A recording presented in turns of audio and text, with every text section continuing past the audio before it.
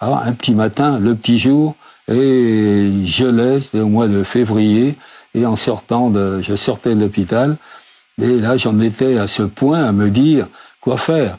Et alors je sais que suicide interdit. Et donc euh, qu'est-ce qu'on va devenir? Qu'est-ce qui peut se passer maintenant? Il n'y a plus rien qui peut. Et puis marche euh, au bord du canal un petit bois qui était c'était magnifique, c'était vraiment le lever du jour. C'était c'était d'une beauté mais alors surprenante.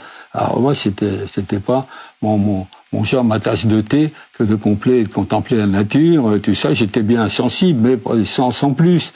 Et là, c'était tout d'un coup le déclic, un truc, euh, un truc, on s'est dit, c'est fabuleux de, voir une chose comme ça. Avant, je n'avais jamais vu ça. Et là, mon, mon, mon horizon était bouché maintenant. Il n'y avait plus rien.